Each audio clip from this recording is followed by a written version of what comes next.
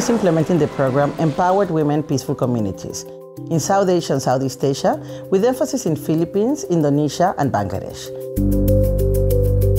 UN Women is working to ensure that women are empowered to build resilient, cohesive, and peaceful communities to prevent radicalization and violent extremism. One of the key things that we're working on in Indonesia is the development of this innovative new model called Peace Villages. A model as how communities that consisted of different backgrounds, of different religious backgrounds, ethnicities can coexist peacefully together. The idea is that community members start to make peace within their families and then they agree on guidelines for the community as a whole. Di masyarakat sekarang pendapatnya tentang desa damai saat ini semakin kental. Jadi apa slogan yang waktu itu kita cetuskan bersama slogan adem ayam eng atine itu sering kali kita gaungkan dalam setiap pertemuan-pertemuan. We want to reclaim the space in our society that for a while was taken by the more radical group of Islam. Saya adalah Katolik, tetapi sudah mulai sering diundang untuk hadir ke kegiatan keagamaan dari umat muslim dan kami senang dengan senang hati hadir di dalamnya.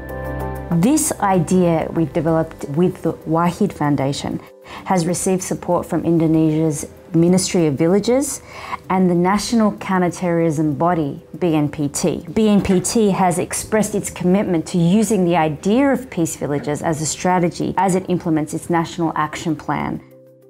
This is a good cooperation with the National Counterterrorism Agency. The UN Women has supported us in our efforts in drafting the National Action Plan. The National Action Plan itself, one of the main principles is on women's empowerment and gender equality. So the role of women here is very important in efforts to mitigate violent extremism. Also, UN Women, in partnership with the Wahid Foundation, has developed a community-based early warning system, and we're piloting this system in the peace villages.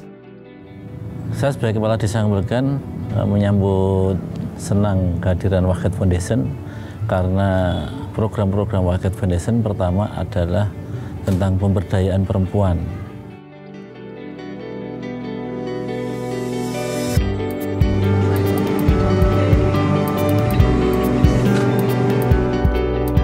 In Bangladesh, we are supporting 300 female students to develop social business plans with innovative ideas to promote gender equality, peace, and resilience in the society.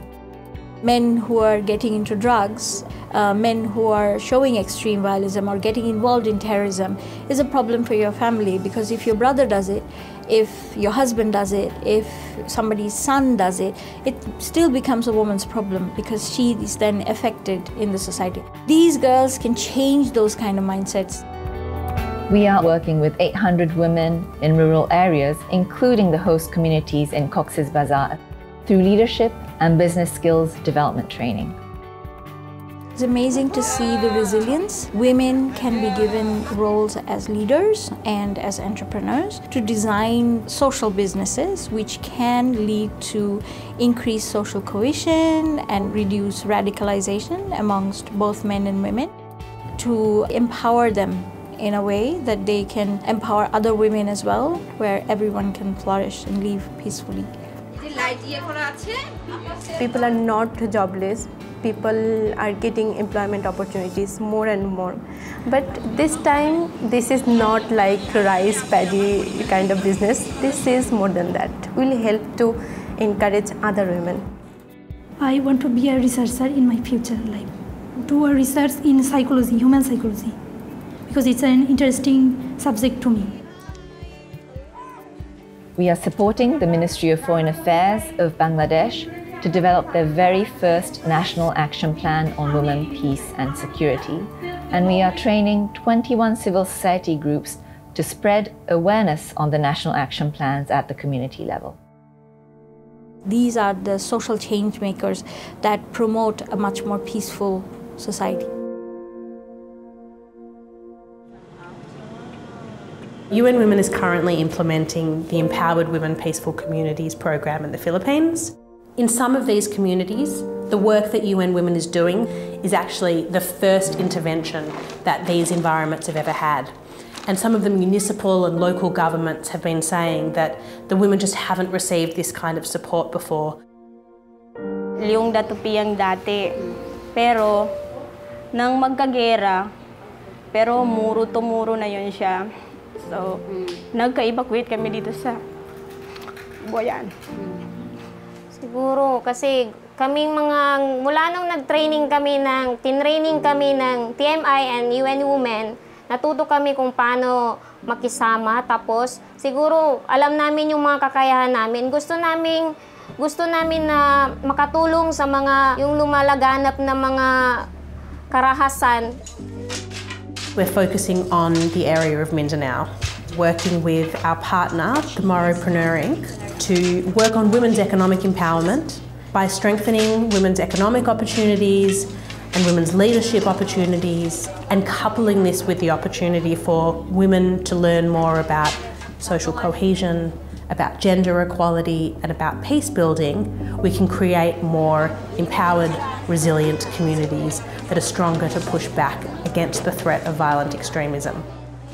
Gawa nila ngayon. Sa ngayon po, gumagawa na po sila ng water hyacinth na yung water hyacinth is ginagawang mga bags, mga sapatos, uh, cup, nang dahil po doon, nagkaroon po sila ng hanap buhay kahit na sila ay walang hanap buhay sa bahay lang.